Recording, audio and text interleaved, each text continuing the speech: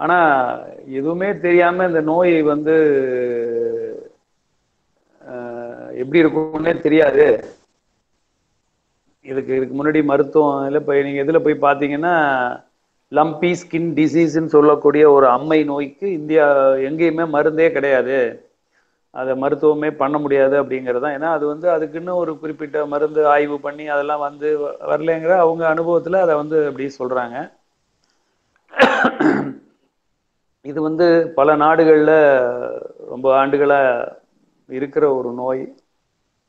நம்ம ஆண் நாட்டுக்கு வந்து இந்தியாவுக்கு வந்து சென்ற ரெண்டாயிரத்தி பத்தொம்போதனுடைய கடைசி அந்த மூன்று நான்கு மாதங்களில் தான் அது முத முத இங்கே இந்தியாவில் இந்த நோய் வந்திருக்கு அப்படிங்கிறத ரிப்போர்ட் பண்ணாங்க. அப்போ தான் வந்திருக்கு தான் ஃபஸ்ட்டு ரிப்போர்ட்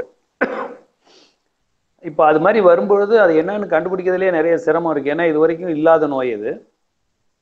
அது மட்டும் இல்லை இப்போ இந்த நச்சுயிரி நோய்களை பற்றி இப்போ புது மேடையில் அதிகமாக விவாதிக்கப்படுகின்ற ஒரு நோய் வந்து இப்போ நச்சுயிரி வைரஸ் டிசீஸ். நச்சுயிரி நோய்கள். அதாவது நுண்ணுயிரிகளில் அடுத்தடுத்து சொல்லும்போது பாக்டீரியான்னா அது ஒரு நோய் இருக்குது அது நிறைய நோய்களை நமக்கு உண்டு பண்ணுது அதுக்கப்புறம் அதுலேயே கிளைமீடியா ரிக்கெட்ஸியா எல்லாம் இருக்குது. அதுக்கப்புறம் பூஞ்சன வகைகள்லாம் இருக்குது. இருந்தாலும் இந்த நச்சுயிரிங்கிறது ஒரு கண்ணுக்கு தெரியாத இன்னொரு நுண்ணுயிரி. அது வந்து ஆஹ், உயிரற்ற பொருட்கள்ல ரொம்ப நாள் ரொம்ப நேரம் இருக்காது. உயிருள்ள இதில் தான் வரும். இதெல்லாம் நிறைய இப்போ பொது வெளியில் அதிகமாக பேசப்படுகின்ற ஒரு செய்தி.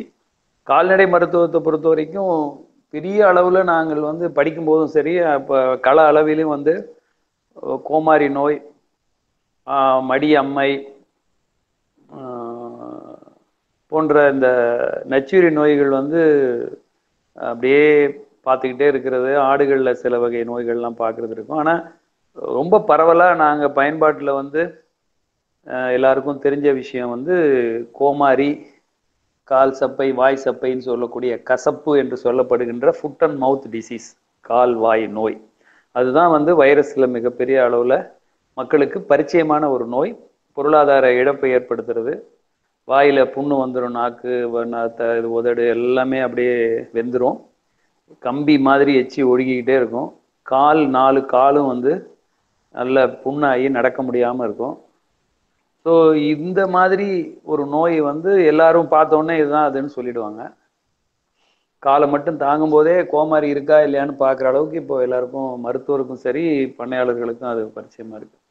இந்த லம்பி ஸ்கின் டிசீஸ் லம்ப்னா ஒரு முடிச்சு முடிச்சா இருக்கிறது தோல் மேல லம்ப் லம்பா அப்படியே முட்டு முட்டா இருக்கிறதுனால லம்பி ஸ்கின் டிசீஸ் எல்எஸ்டி தமிழ்ல அதை மாடுகளுக்கு பெரியம்மை அது அந்த பெரியம்மைன்னு சொல்லிட்டு நம்ம பாரம்பரியத்துல மருத்துவர்களோட கலந்து ஆலோசித்து இந்த மாதிரி பெரிய அம்மைன்னு ஒரு ஒரு சொல்லாடலே வந்து நம்ம தான் அதை வந்து அறிமுகப்படுத்தியிருக்கோம். மாடுகளுக்கு பெரிய அம்மை அப்படிங்கிற வார்த்தையை. ஏன்னா இந்த வருஷம்தான் வந்திருக்கு. போன வருஷத்தில் ஆரம்பித்து ரெண்டாயிரத்தி இருபதுல தான் டிசம்பரில் கேரளாவில் இருந்தது.